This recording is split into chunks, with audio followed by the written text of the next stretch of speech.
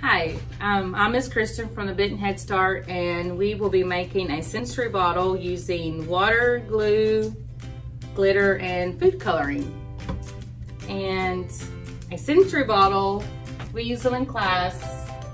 You can make them all different ways for soothing yourself, calming yourself, learning about colors and shapes, and just whatever you want to put in them.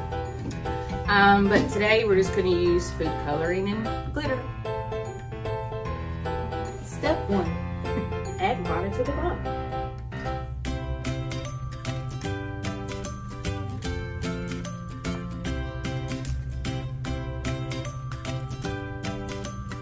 Okay. After the water, we add our glue.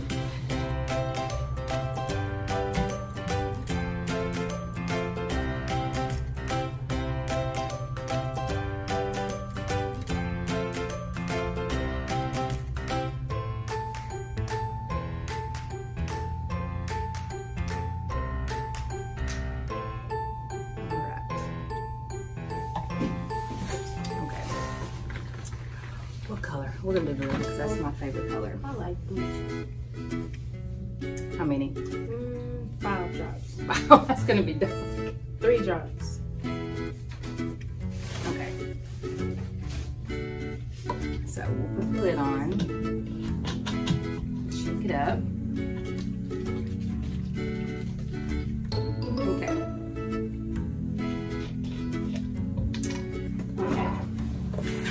What color glitter do you want?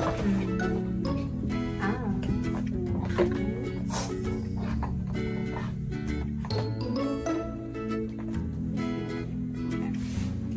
Your glitter.